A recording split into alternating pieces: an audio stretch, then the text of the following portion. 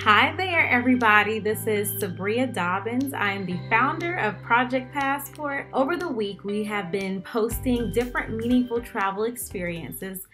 Well, today, I want to share a little bit of something about my travel experience. And this is going to date back to 2014 to when I went to India.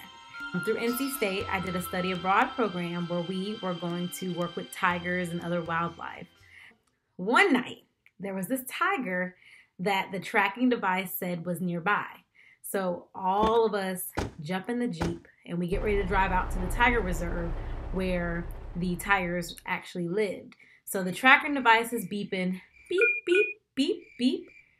We're in the Jeep. The Jeep is an open Jeep. So I'm in the middle of the jungle looking for a tiger. And that is the moment that I sit there and I look at my, I think real hard to myself, what was I thinking? I don't, it don't matter that we on no trip. It don't matter we in a school group. We are still in the middle of the jungle with some wild tigers that can do whatever they want. All of a sudden, it means, so it's pitch black at this point. All of a sudden, we stop the Jeep because the beeping is louder. So that means we're closer to wherever the tiger is.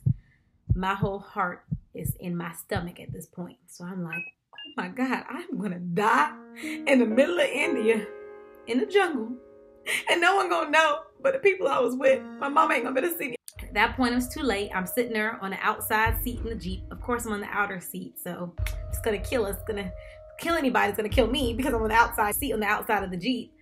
But anyway, so I decide to stick it out. All of a sudden, all we hear are these cracklings in the trees. All we hear is shh, shh. I'm like, oh my God. Oh Lord, what are we doing? Why are we out here looking for this time? My whole heart, like my whole heart is all in my stomach no more. It's lower than that. I'm freaking out. Hear more crackling. All of a sudden, the biggest deer I done seen in my life. I sound country, but the biggest deer I have ever seen in my life appears right there in front of my my whole heart. I I about passed out, screaming top of my lungs. It was a scary, scary moment. Then eventually the tiger does appear. The tiger walks about eight feet, 10 feet from the Jeep looks at us, and keeps walking. This travel spirit experience was meaningful because you will not find me on a tri- tiger reserve again. You know, I'm not gonna sit here and lie. I may go on a safari. So I hope you enjoyed my travel story. I hope you stuck around. If you did, you are freaking amazing.